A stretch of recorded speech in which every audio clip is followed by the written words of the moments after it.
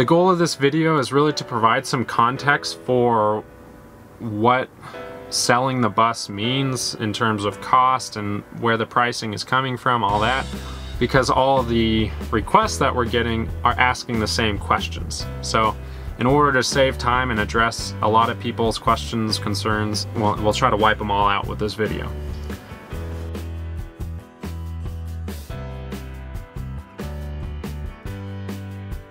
We won't be working on the bus for another three weeks, but we'll still release some videos of different things that we haven't released videos on. And when we jump back into it and start knocking out some of those projects on the exterior, we'll try to upload those and take pictures of some of the uh, more direct things that we've been discussing but haven't actually shown. FYI, there will be videos on this to come my home on wheels. So there will be uh, more videos on this, just a little teaser, I guess.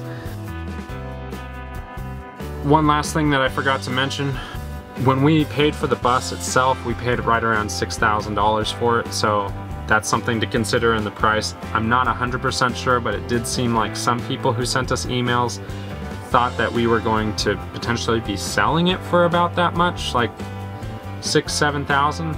Uh, that's you'd have a hard time finding a charter bus for that price.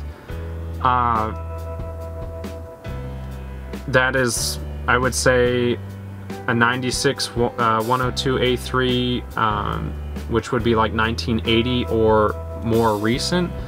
Uh, I think it is doable to buy them for less than 6,000, but that's a good price.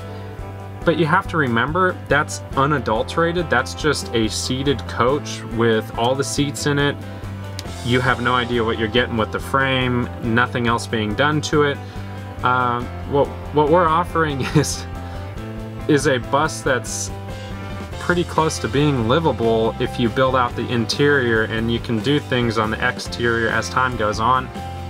If you don't like the engine, you can do an engine swap, you know, relatively speaking, it's inexpensive, but I mean, it does cost money, so you could put a Series 50 four-stroke engine in there instead of having the two-stroke.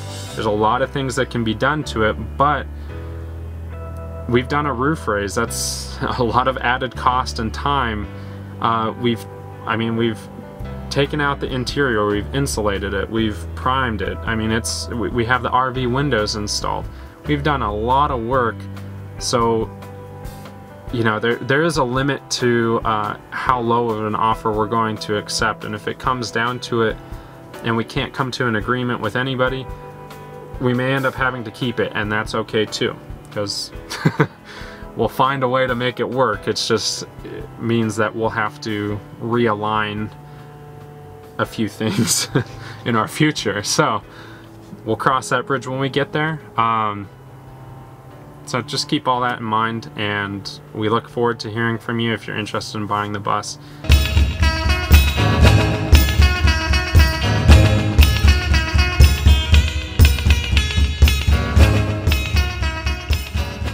Hey guys, welcome. We're not at the bus, but we wanted to talk to you about a few things. So we released our video letting everyone know that we're selling the bus two days ago. Friday. And we've gotten a lot of emails in response to that. That's been awesome. It's been great hearing from everybody. It's nice to see people are interested in the bus and it's also been really good just to hear from people that are showing support and understanding with the decision that we've had to make. So it's been amazing seeing everybody that's kind of come out of the woodwork and and uh, yeah, uh, maybe the nicest part of this difficult decision has been seeing everybody that has been supporting us, even if we haven't heard from you along the way.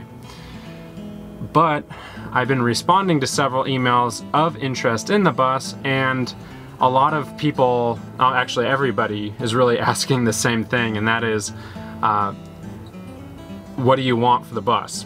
and the whole point was we don't fully know how to price the bus and don't know what people are willing to pay for it. And as I said in the previous video, we're not necessarily looking to make money on it.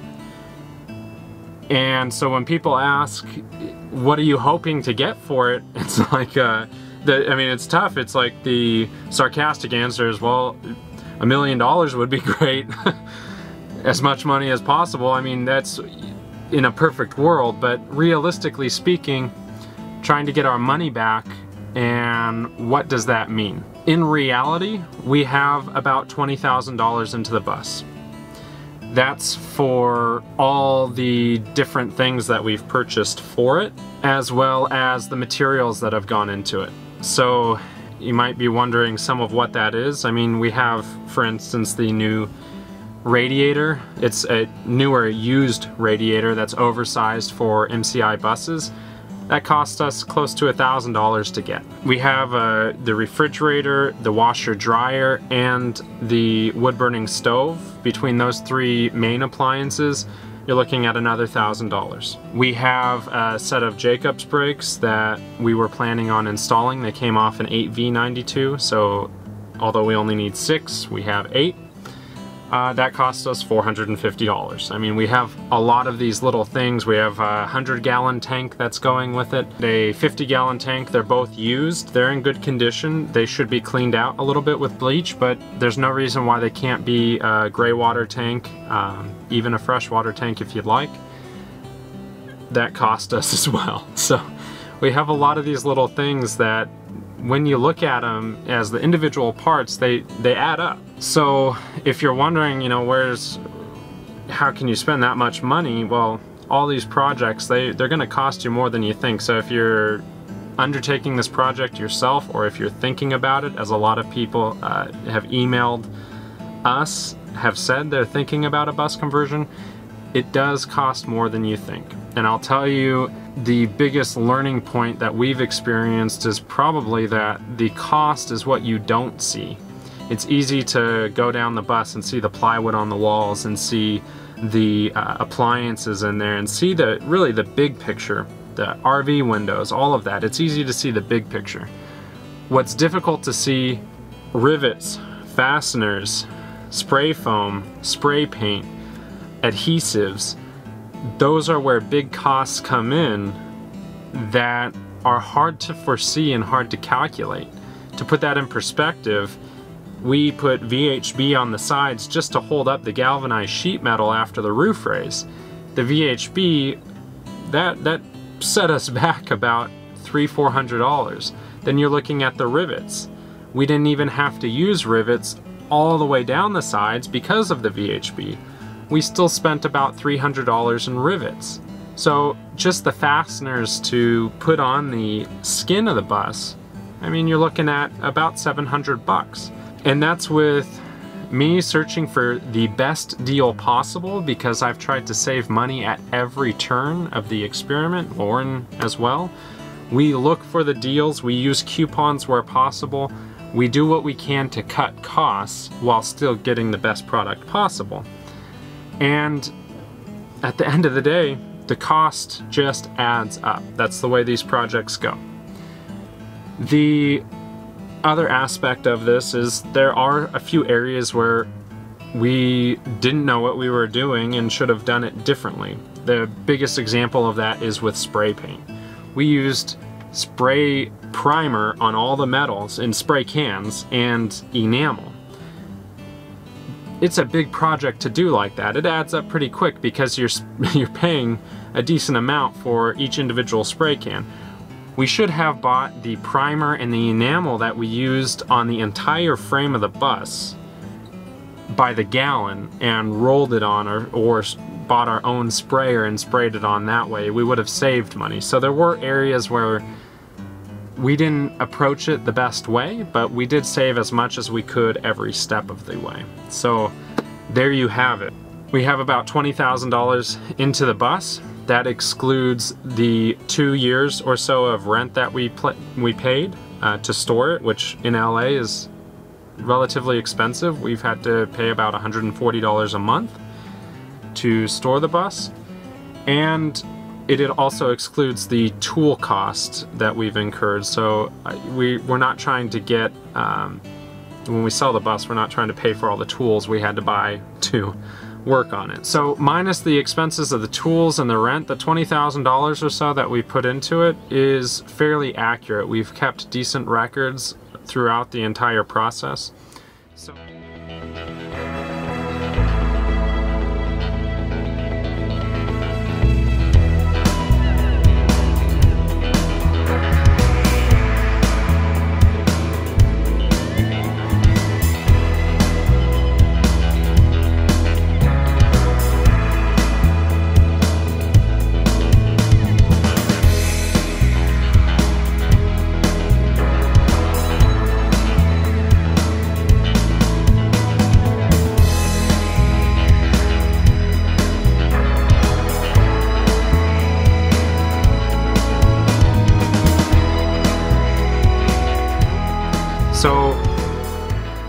obviously, you know, that's not a small amount of money. That's not lost upon us. And there are still numerous aspects of this project that need to be undertaken. It is, I believe, downhill from here, and it would be easy to get the bus livable and then to work on some of these smaller projects later down the line. And if we were keeping the bus, that's probably what we would have ended up doing because it's likely the most feasible way to approach the rest of this project. There are two areas of the bus I would say that still have a lot of outstanding work to be done. One of them being the radiator that needs to be replaced. Uh, there is a there, there is rust around that radiator and it is isolated to that part of the bus. We have covered everything around it. We just haven't tackled the radiator itself. So it needs to be removed. And then there's some rust remediation to do. So basically a couple small sections of metal tubing need to be pulled out, welded back in. It's not some huge procedure, but it is something that needs to be addressed. And the front area around the driver's seat needs some attention. So those are the two, I'd say, big things that need to be addressed. From there, there's cosmetics on the outside. I've gotten some requests for what the outside looks like. We're putting together a bunch of pictures and a few short video clips on Google Drive for people that do email us with those requests. It should make it easier for us to just share the links so that you can see the uh, images there and maybe we'll be able to post those in a description of a YouTube video coming up. The exterior we are going to be working on, so there is the fiberglass on the front cap that's close to being finished. It just needs uh, sanding in a few areas and then we're going to Bondo it. That will be done. And then the intake for the engine, this is a two-stroke engine, it sucks in a lot of air, and that intake is in the uh, back of the bus, and the area around it had to have some custom fabrication with the metal and everything. It doesn't look that pretty right now. It is sturdy, and it is watertight, the two main things we were concerned with at the time. Now it needs to be made beautiful, so We'll be looking to get into that as well if the bus doesn't sell in the near future. That's that's one of the big things we'll be uh, tackling is basically fiberglassing over that area, getting it all smooth and nice so that when the primer and paint is done, it all looks good. With that, the only other uh, concern that should really be uh, noted at this time off the top of my head is that the two front windshields cosmetically aren't perfect. One of them has a small crack where a pebble hit it or something. It's not major and in reality it should just be filled and all in all isn't an issue. The window on the driver's side has a decent crack in it. It's been that way since we bought the bus. We actually didn't see it when we purchased it. The person we purchased it from is supposed to give us a replacement, but we didn't have a vehicle to get down there and pick up the replacement. So I'm not sure if he'll still honor that. We might follow up with him to see if we can get that window. It's uh, It would just be a little bit of a drive for us. We can go down and pick it up. Um, if he does not honor that for whatever reason, well, that would kind of suck, but also there is a local company that sells the windows for $250. So that window should be replaced in terms of it being able to drive the bus, I don't see an issue with it. I wouldn't go thousands of miles without doing it, but Anyhow, window needs to be replaced at some point. There is a crack in it. The windows you can find at numerous places, and there happens to be a company locally for $250. So Is that for one half or both? that's for one half. The window. The window. I guess lastly, what I would say is that in conclusion, we, as we've said numerous times, are trying to get our money back. The operating word there is trying to. We recognize that we might not get everything we put into this out of it. We'll never get paid for the time we put into it. We've accepted that. If we don't get all of our money back, it's not the end of the world. We understand that as well. So, we are not offended by any offer that's thrown our way. The worst that's going to happen is we say no. That's not a big deal. We can negotiate from there if you're close and see what we can agree on, whether that's, you know, if X, Y, and Z work gets done on the bus, I will give you this amount. There's a ton of ways we can do this. We're really just looking for an understanding of what people might be willing to pay, what they can budget for, considering the work um, that's been done. Because at the end of the day, if you are thinking about taking on this project yourself, it is going to cost you more than you think.